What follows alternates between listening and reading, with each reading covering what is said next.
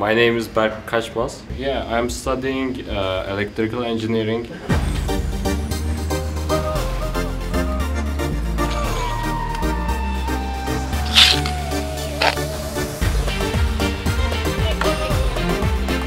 Let me show our home. Our room little bit messy. I'm sorry about that. Here is living room. Just we have a couch and a table. Our cycle, the cycle, he put it here. We have four chair and one table. And here is our kitchen. We have a, a fridge, uh, kitchen tools. Here is uh, one of the bedroom. We have just one bedroom for five people. Yeah, the other bedroom is here. We have three beds in there.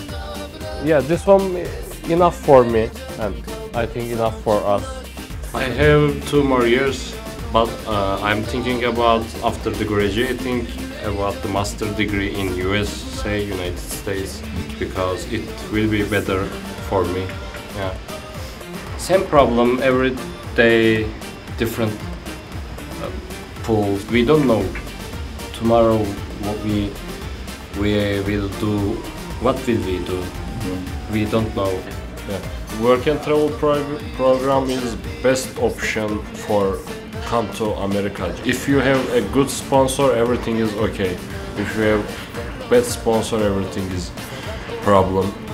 Maybe American meals, American foods problem for me. Just uh, only I missed my Turkish foods, just only.